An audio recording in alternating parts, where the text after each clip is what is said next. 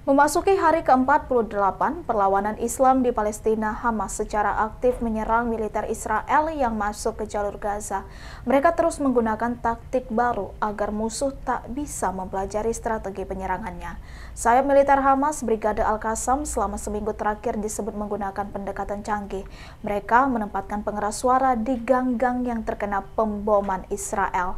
Selanjutnya, Brigade Al-Qassam menyiarkan percakapan bahasa Arab untuk menambah kekacauan kekacauan di antara tentara Israel yang menyerang. Percakapan itu dilakukan oleh anak-anak dan remaja. Suara-suara tersebut lantas digunakan untuk menjebak militer Israel. Jurnalis militer Israel menekankan bahwa perlawanan Palestina menggunakan taktik ini ketika tentara pendudukan Israel, baik infanteri atau tank mendekat. Mereka mengaktifkan pengeras suara ketika mereka mendekat untuk membingungkan mereka. Pasukan infanteri yang diikuti oleh tank menyelidiki suara-suara yang datang dari sebuah gang menuju jalan yang sebelumnya diserang. Ketika mereka maju, para pejuang perlawanan yang bersembunyi di lantai atas gedung di dekatnya melepaskan tembakan dengan senapan mesin dan rudal anti-tank. Ikuti terus berita aktual lainnya, jangan lupa like dan share seluruh akun Tribun Medan.